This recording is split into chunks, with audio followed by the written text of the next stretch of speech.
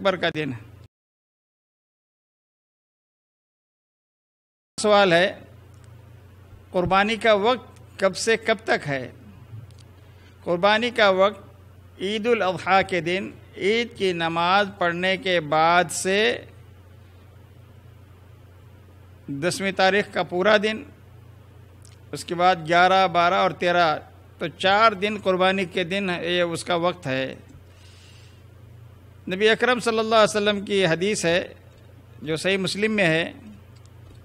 अरे नबी वसल्लम ने फरमाया, मन दबह कबल सलाती फ़ैनमा दबह अली नफसी, व मन दबह बाद सला फ़कत तम नुसको वसाब सुन्नत मुस्लिमीन। जिसने ईद की नमाज़ से पहले कुर्बानी की, उसने अपने लिए, अपने गोश्त खाने के लिए एक जानवर ज़िबाह किया। उसको कुर्बानी का सवाब नहीं मिलेगा। ईद की नमाज़ से पहले अगर कोई शख्स जानवर ज़िबाह करता है तो उसको कुर्बानी का अजर नहीं मिलेगा, वो तो गोश्त का जानवर होगा। लेकिन जो शख्स ईद की नमाज़ मुसलमानों के साथ पढ़ता है, फिर उसके बाद खुतबा ख़त्म होने के बाद या खुतबा न भी सुने तो ये जायज़ है। लेकिन अफजल यही है कि मुसलमानों के साथ खुतबा पूरा होने के बाद जाए अपने घर जाके और जहाँ भी वो कुर्बानी करना चाहता है कुर्बानी करे। ये सही मुस्लिम की रिवायत।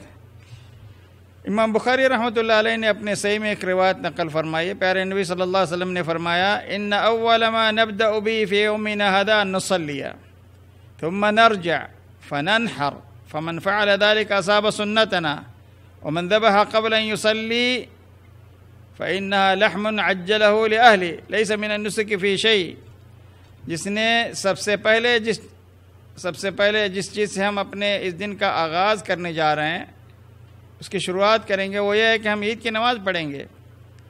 ईद की नमाज़ के बाद खुतबा होगा। फिर ईदगाह से वापस जाकर कुर्बानी करेंगे। जिसने इस तरह किया, वो यकीन हमारे तरीके को पहुँच गया, यानी सुन्नत पर अमल किया। और जिसने ईद की नमाज़ से पहले ही जानवर ज़िबा किया, कर लिया तो उसने अपने घर वालों के लिए गोश्त का जानवर ज़बह करके गोश्त फराहम किया और उसमें कोई चीज़ नहीं। ये सही बुखारी की रिवायत है।